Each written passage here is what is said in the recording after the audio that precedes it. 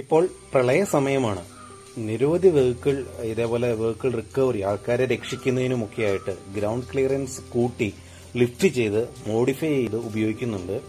അപ്പോൾ അതേപോലെ അല്ലാത്ത വാഹനങ്ങളൊക്കെ ഇങ്ങനെ ഫ്ലോഡിൽ അതായത് ഇങ്ങനെ ഈ എന്താ പറയുന്ന ഒരുപാട് ഗ്രൂപ്പ് മീഡിയകളിലും സോഷ്യൽ മീഡിയകളിൽ കാണാറുണ്ട്. വാഹനങ്ങൾ വെള്ളത്തിൽ ഓടിച്ചു പോകുന്നൊക്കെ പലർക്കും അറിയാവുന്ന കാര്യമാണ് നമുക്ക് ഫ്ലോഡിൽ അല്ലെങ്കിൽ വെള്ളത്തിൽ അകപ്പെട്ടാൽ വാഹനങ്ങൾക്ക് വരുന്ന കേടുകൾ ഡാമേജുകൾ ഒക്കെ. അത് ഒന്നും കൂടി ഒന്ന് ക്ലാരിഫൈ ചെയ്യുക എന്ന ഉദ്ദേശത്തോടെയാണ് ഈ വീഡിയോ ഇടുന്നത്. അപ്പം എല്ലാവർക്കും പുതിയൊരു വീഡിയോയിലേക്ക് സ്വാഗതം. ആദ്യം തന്നെ ഇതിന്റെ ഒരു തിയറി പാർട്ട് എന്നോളം എല്ലാവർക്കും ഫിസിക്സിൽ പഠിച്ചിട്ടുള്ള ചെറിയ ക്ലാസ്സുകളിൽ നമ്മൾ പഠിച്ചിട്ടുള്ള ഒരു ബോയൻസി ലോ എല്ലാവർക്കും അറിയാം.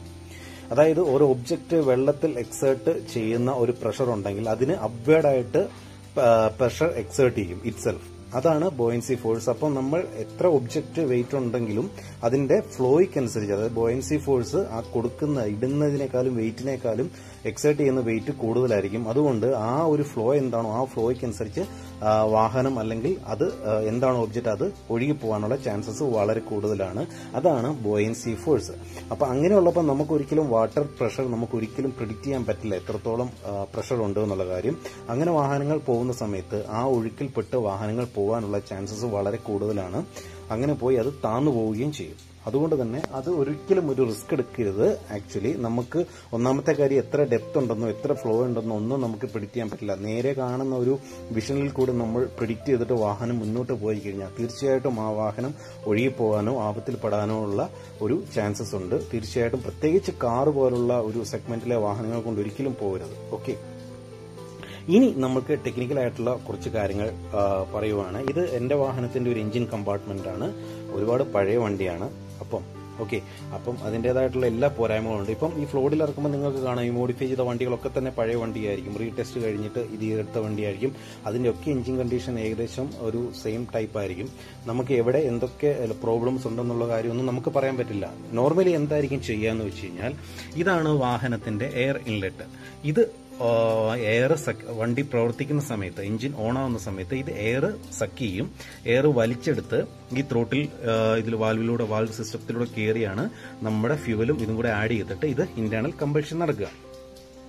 അപ്പോൾ ഇവിടെ നിന്ന് എന്ത് ചെയ്യുന്നു വെച്ചാൽ നോർമലി ഈ ഒരു ഹോസ് എടുത്ത് മാറ്റി ഇവിടെ ഒരു പി വി സിയുടെ ബെൻഡും കാര്യങ്ങളൊക്കെ ഇട്ട് മേലോട്ടാക്കിയതിന് ശേഷം നമ്മൾക്ക് ഇങ്ങനെയുള്ള വണ്ടി ജീപ്പ് പ്രത്യേകിച്ച് ജീപ്പ് അങ്ങനെയുള്ള വാഹനങ്ങൾ താറ് അതുപോലുള്ള മോഡേൺ വാഹനങ്ങളൊക്കെ ഇതേപോലെ കാണാൻ പറ്റും.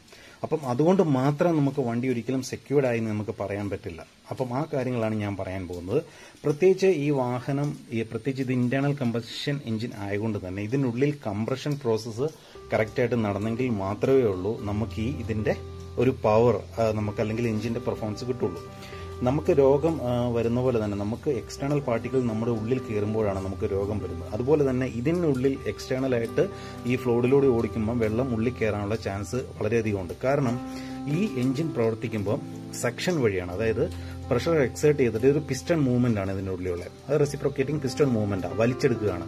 തള്ളി തള്ളി തള്ളി വലിച്ചെടുക്കും. അപ്പം ഈ വാൾസിൽ ഇതിന്റെ ഉള്ള ട്യൂബിങ്സിന്റെ കണക്ഷൻ കാര്യങ്ങളെല്ലാം നമുക്ക് എവിടെ എന്തെങ്കിലും ലീക്ക് ഉണ്ടോ കാര്യങ്ങളൊന്നും പറയാൻ പറ്റില്ല. അപ്പൊ അങ്ങനെയുള്ളപ്പോൾ അതിനുള്ളിൽ വെള്ളം ഉണ്ടെന്നുണ്ടെങ്കിൽ നിങ്ങൾക്കറിയാം പഴയ വണ്ടികൾ ചിലപ്പം ഇതിനുള്ളിൽ പ്രഷർ വാഷർ കൊണ്ട് കഴിയാൽ പോലും കൂടെ പിന്നീട് ഓൺ ആവാൻ ബുദ്ധിമുട്ടാണ്. അതെന്തുകൊണ്ടാണെന്ന് വെച്ചാൽ ഉള്ളിൽ വെള്ളം കയറി കഴിഞ്ഞു കഴിഞ്ഞാൽ ഇത് കറക്റ്റ് കംപ്രഷൻ നടക്കാതെ വരും. അതിനെ ഹൈഡ്രോസ്റ്റാറ്റിക് ലോക്ക് എന്നാണ് പറയുന്നത്. ഹൈഡ്രോസ്റ്റാറ്റിക് ലോക്ക് എന്ന് പറഞ്ഞു കഴിഞ്ഞാൽ വെള്ളത്തുള്ളികൾ അല്ലെങ്കിൽ എന്തെങ്കിലും കയറി കഴിഞ്ഞാൽ ആ കംപ്രഷൻ പ്രോസസ്സിനെ അത് കുറച്ച് സ്ലോ ഡൗൺ ചെയ്യും. അതിനെ അതായത് ഇതിന്റെ ആ പിസ്റ്റൺ മൂവ്മെന്റും ഗ്യാസ്കറ്റ് കാര്യങ്ങളെല്ലാം തന്നെ ഒരു ഡാമേജ് ആവുന്ന ഒരു അല്ലെങ്കിൽ അത് ലോക്ക് പിടിക്കുന്ന ഒരു സിസ്റ്റത്തിലോട്ട് വരും. അതേപോലെ തന്നെ ചോക്ക്ഡ് ഫ്ലോ നിങ്ങൾ ഇത് കേട്ടിട്ടുണ്ടാവും ചോക്ക്ഡ് ഫ്ലോ എന്ന് പറയും. ഓക്കെ ചോക്ക്ഡ് ഫ്ലോ എന്നൊക്കെ പറഞ്ഞു കഴിഞ്ഞാൽ ഫ്ലോ കറക്റ്റ് ആവാതെ വരുമ്പം കേൾക്കുന്ന ഒരു ക്രിക്കിടുക്കും പറഞ്ഞിട്ടുള്ള ഒരു സൗണ്ട് ഓക്കെ ആ ഒരു സാധനമാണ് ഈ ചോക്ക്ഡ് ഫ്ലോ അല്ലെങ്കിൽ വാട്ടർ ഹാമറിങ് എന്ന് പറയും. ഇങ്ങനെയുള്ള കുറച്ച് ഫിനോമിനൻസും കാര്യങ്ങളൊക്കെ ഉണ്ട്. അതിന് ഫ്ലോ കറക്റ്റ് ആകാതെ വരുമ്പോഴുള്ള ആ ഒരു പ്രശ്നങ്ങൾ. അത് ഏറ്റവും കൂടുതൽ ഈ എഞ്ചിൻ കമ്പാർട്ട്മെന്റിലൊക്കെ കൂടുതലും വരാനുള്ള മെയിൻ കാര്യങ്ങളുണ്ട്. കാരണം നമുക്ക് ലീക്ക് എവിടെ ആണെന്നോ എന്താണെന്നോ ഒരിക്കലും നമുക്ക് പറയാൻ പറ്റില്ല. ഓക്കെ നമ്മുടെ വാഹനം പുതിയ വാഹനം അല്ലല്ലോ നമ്മൾ. പുതിയ വാഹനം എന്തായാലും ആരും വെള്ളത്തിൽ ഇറക്കില്ല. പഴയ വാഹനങ്ങളുടെ കണ്ടീഷൻ നമുക്ക് ഒരിക്കലും പറയാൻ പറ്റില്ല. അതേപോലെ തന്നെ ഇതിനുള്ളിൽ സ്പാർക്ക് പ്ലഗിന്റെ കാര്യങ്ങളുണ്ട് സ്പാർക്ക് പ്ലഗ് കോയിൽസ് ഉണ്ട്. ഓക്കെ മെയിൻ പിന്നെ വേറൊരു കാര്യം ഈ ഇതിന്റെ അത് ബാറ്ററിയാണ് ഈ ബാറ്ററി നിങ്ങൾക്ക് നോക്കിയാൽ അറിയാം. ഇത് നമുക്കറിയാം ലെഡ് ആസിഡ് ബാറ്ററീസ് ആണ്.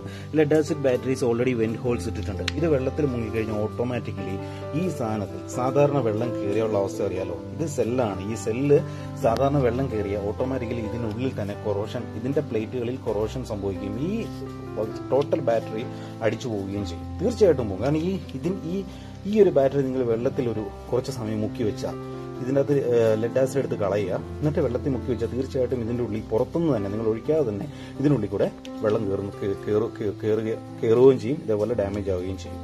ഓക്കെ അത് പിന്നെ ഒന്ന്.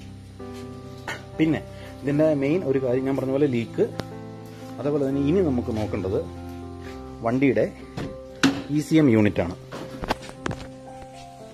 വണ്ടികളുടെ ഇ സി എം യൂണിറ്റ് എന്ന് പറഞ്ഞാൽ വണ്ടികൾ നിങ്ങൾക്ക് കാണാമെന്ന് അറിയത്തില്ല. ഇരുട്ടാണ്.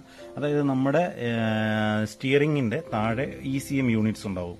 അപ്പോൾ E C M unit engine management control അതായത് ഒരു കമ്പ്യൂട്ടർ പോലെ ഇലക്ട്രോണിക്സിന്റെ ഒരു സിസ്റ്റമാണ് അപ്പം ഈ ഈ ഡോറിന്റെ ഇതിൽ കൂടെ അല്ലെങ്കിൽ ഇതിലൂടെയുള്ള പല സ്ഥലങ്ങളിലൂടെയും ഇതൊന്നും അതേപോലെ തന്നെ അത് ഇട്ടിരിക്കുന്നതെന്ന് പറഞ്ഞാൽ ഇതിന്റെ വയറിങ്സ് ചെയ്തിരിക്കുന്നതെന്ന് പറഞ്ഞു കഴിഞ്ഞാൽ നമുക്കൊരു ബുഷ് ഇട്ടിട്ടാണ് ഹോൾസ് അടിച്ചിട്ട് ബുഷ് ഇട്ടിട്ടാണ് ഈ ബുഷൊക്കെ കാലക്രമേണ പഴകി പഴ പഴകാനും അതിനുള്ളിൽ ഒക്കെ വെള്ളം കയറുകയും എല്ലാം ചെയ്യും. അങ്ങനെയാണെങ്കിൽ ഈ ഇ സി എം യൂണിറ്റ് ഒക്കെ കേടാവാനുള്ള ചാൻസസ് വളരെ കൂടുതലാണ്. ഓക്കെ അപ്പം അതൊരു കാര്യം. പിന്നെ അറിയാം കാലക്രമേണ നമ്മൾ വാഹനങ്ങൾ ഉപയോഗിച്ച് കഴിഞ്ഞതിന് ശേഷം ഒരുപാട് വയറിങ്ങുകൾ നമ്മൾ ഇൻസുലേഷൻ ടേപ്പൊക്കെ കെട്ടടിച്ച് ഒട്ടിച്ചു വെക്കാറുണ്ട് ജോയിൻസ് വെക്കാറുണ്ട്. വെള്ളം കയറി കഴിഞ്ഞാൽ ആ ഒരു പോർഷൻ കുറവിടാവാനും ആവാനും അത് പിന്നീട് പോകും തോറും എവിടെയെങ്കിലുമൊക്കെ സ്പാർക്ക് ആകുകയും അല്ലെങ്കിൽ കോൺടാക്ട് കിട്ടാതെ വരികയും അല്ലെങ്കിൽ വയറിംഗ് സിസ്റ്റംസ് മൊത്തം നമുക്ക് മാറ്റേണ്ടതായിട്ട് ഭയങ്കരം ഒരു തലവേദന പിടിച്ച പരിപാടിയാണ് ഇതിന്റെ വയറിംഗ് സിസ്റ്റംസ് ഒക്കെ മാറ്റാൻ അല്ലെങ്കിൽ അങ്ങനെയുള്ള ഇതൊക്കെ ആയി കഴിഞ്ഞു കഴിഞ്ഞാൽ. അതായത് ഒരു ബോണറ്റ് ലെവലിൽ നമ്മൾ വണ്ടി വന്നു കഴിഞ്ഞാൽ കമ്പനിക്കാർ അല്ലെങ്കിൽ ഇൻഷുറൻസുകാർ തന്നെ പറയുന്നതെന്ന് പറഞ്ഞു കഴിഞ്ഞാൽ റൈറ്റ് ഓഫ് എന്നാണ്. റൈറ്റ് ഓഫ് എന്ന് പറഞ്ഞാൽ എഴുതി തള്ളുക. അതായത് വണ്ടി കംപ്ലീറ്റ്ലി പോയെന്നാണ്. അപ്പോൾ ആ ഒരു അവസ്ഥയിലാണ് പല വണ്ടികളും നമ്മളിങ്ങനെ കാണുന്നത്. ഈ ഫ്ലോഡിലൊക്കെ എന്താ പറയുന്നത് ഭയങ്കര ഈ ഷോ കാണിച്ച് അല്ലെങ്കിൽ ഇത് കാണിച്ച് ശരിയാണ്. ഒരു പരിധി വരെ ഒക്കെ വേണം ആൾക്കാരെ ഇത് ചെയ്യാൻ. പക്ഷേ അത് എന്താ പറയുന്ന ഒരു അധികമായി കഴിയുമ്പോൾ ഓക്കെ അത് ഒന്നാമത്തെ കാര്യം എന്ന് പറഞ്ഞാൽ ഫ്ലോഡിൽ ഓടിക്കുന്നതിനൊന്നും വേണ്ടിയിട്ട് എക്യുപ്ഡ് അല്ല നമ്മുടെ ഈ വാഹനങ്ങൾ അല്ലേ? അപ്പം അത് ഒരുപാടായി കഴിയുമ്പോഴത്തേനും അത് എന്തോ ഒരു എന്താ പറയുന്ന ഒരു ശരിയായ ഒരു മാർഗമായിട്ട് തോന്നുന്നില്ല. അപ്പം അപ്പം ഇത്രേ ഉള്ളൂ. നിങ്ങൾ പറയുന്നതിന് വേണ്ടിയിട്ട്. ജസ്റ്റ് ഒരു എയർ ഫിൽറ്ററിന്റെ അവിടെ ഉയർത്തി വെച്ച് വണ്ടി ഓടിക്കാം എന്നുള്ള രീതിയാണെന്നുണ്ടെങ്കിൽ അതൊരു ശരി ശരിയായ രീതിയല്ല. അതിൽ ഒരുപാട് കാര്യങ്ങൾ നമ്മൾ വീണ്ടും വീണ്ടും ആലോചിച്ച് ശ്രദ്ധിക്കേണ്ടതായിട്ടുണ്ട്. നമ്മുടെ വണ്ടിയുടെ കണ്ടീഷൻ ആദ്യമായിട്ട് ഒന്ന് ഇത് ചെയ്യുക. കാരണം എന്തെങ്കിലും തരത്തിലുള്ള അതായത് വണ്ടിക്ക് പ്രീവിയസ് ആയിട്ടുള്ള മെയിന്റനൻസ് ഹിസ്റ്ററി നിങ്ങൾക്കേ അറിയുള്ളൂ. എവിടെ എന്തെല്ലാമാണ് ലീക്ക് വന്നിട്ടുള്ളത്. അപ്പം ഫോർ എക്സാമ്പിൾ ഇപ്പൊ ഈ ഒരു കാര്യം എടുക്കുവാണെങ്കിൽ ഇതൊക്കെ ഗ്യാസ്കറ്റ്സ് ആണ്. കണ്ടോ? ഈ സ്ക്രൂ ഇട്ടിരിക്കുന്ന ഗ്യാസ്കറ്റ്സ് ആണ്.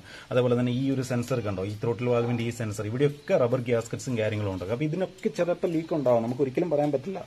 ഓക്കെ നമുക്ക് പുറത്തോട്ട് നോക്കുമ്പോൾ നമുക്ക് അറിയുന്നില്ല എന്നേ ഉള്ളൂ. ഓക്കെ അപ്പം ഇതിന് നിങ്ങൾ ഒരു ഒരു കാര്യം ചെയ്താൽ മതി. ഇതാ ഈ ഈ ഇങ്ങനത്തെ ഈ സെൻസർ ഉണ്ടല്ലോ. ഇവിടെ ശകലം ഒന്ന് ലൂസ് ആക്കിയിട്ട് നിങ്ങളൊന്ന് വണ്ടി ഓടിക്കാൻ കഴിഞ്ഞാൽ ഇത് ഇത് ഓട്ടോമാറ്റിക്കലി ഈ ഒരു എയർ സെക്ഷനിൽ കൂടെ അല്ലാതെ ഇതിലൂടെ എയർ എവിടെയെങ്കിലും കയറുവാണെങ്കിൽ വണ്ടിയുടെ ആക്സിലേഷൻ ഓട്ടോമാറ്റിക്കലി കൂടാൻ തുടങ്ങും. അതായത് എയർ പുറത്തുനിന്ന് വലിച്ചെടുക്കും. അങ്ങനെ പുറത്തുനിന്ന് വലിച്ചെടുക്കാതെ ഇത് കൺസീൽഡ് ആയിട്ട് വെച്ചിരിക്കുന്നതിന്റെ ഉദ്ദേശം എന്ന് പറഞ്ഞാൽ ഇതിലൂടെ മാത്രമേ എയർ വരാൻ പറ്റുള്ളൂ.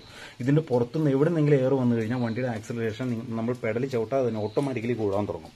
അപ്പോൾ ഇങ്ങനെയുള്ള പ്രശ്നങ്ങളൊക്കെ മുൻകൂട്ടി കാണുക. എല്ലാവരും സേഫായിട്ടിരിക്കുക സേഫായി ഡ്രൈവ് ചെയ്യുക. Thank you signing off Ranjith.